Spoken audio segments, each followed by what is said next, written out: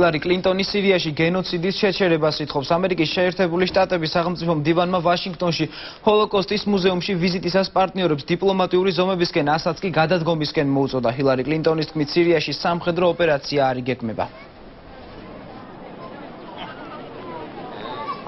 President Obama was clear when he stated President Obama მკაფიოდ განაცხადა, რომ მასობრივი ხოცვა ჟლეტისა და გენოციდის მომწყობს პასუხისმგებლობა დაეკისრება. თუმთავრობა ვერ ან არ უზრუნველყოფს საკუთარი მოქალაქეების დაცვას, მაშინ შეერთებული შტატები და მისი პარტნიორები მოქმედებას დაიწყებენ, მაგრამ ეს არ იქნება სამხედრო აქტიურობა.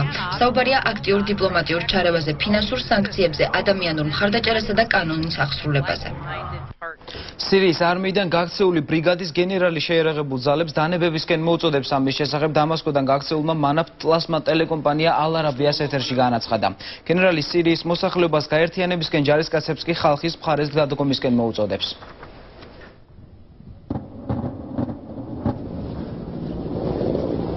ბისმილლაჰ რაჰმან რაჰიმ მოგმართავთ არა როგორც ოფიციალური პირი არამედ როგორც სირიის არაბული არმიის შვილი რომელმაც კრიმინალური რეჟიმის დასვაზე უარი თქვა ჩვენი რევოლუცია მიმართულია ტირანის წინააღმდეგ.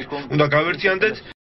აიღუპა აფეთქება სადგურის პირველ და მეორე ბლოკებზე ძლიერი ხანძარი მოხვა. ტრუვის სადგური პოლონეთის მოხმარებული ელექტროენერგიის 67%-ს გამოიმუშავებს. უკანონო სატელეფონო მოსმენების გამო დიდი ბრიტანეთის პროკურატურამ დევიდ კამერონის ყოფილ სპოუქსმენი დაადანაშაულა.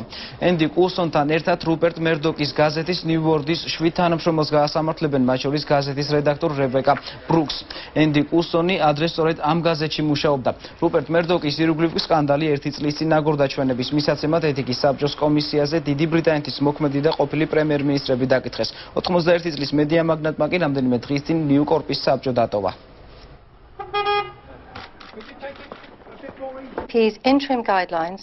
თითოეულს ბრალადედება კომუნიკაციების კონსპირაციულად და უკანონოდ გამოყენება. 8 ეჭმიტანილის წინააღმდეგ 19 ბრალდება.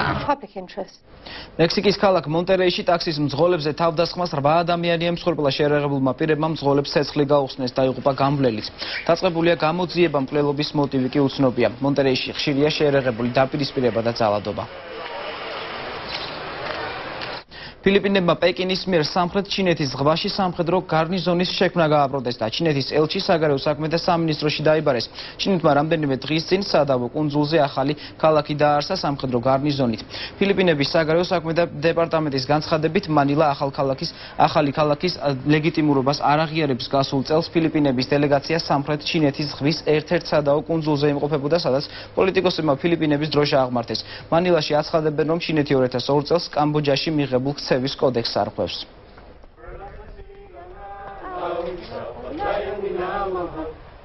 I think we don't want ეს ნაბიჯი ჩინეთის მიერ მიწების მიტაცებაა, რაც არალეგიტიმურია. ჩვენ დასავლეთ ფილიპინებისა და სამხრეთ ჩინეთის ზღვებში ძალის ნებისმიერ დემონსტრირებას შევეწინააღმდეგებით.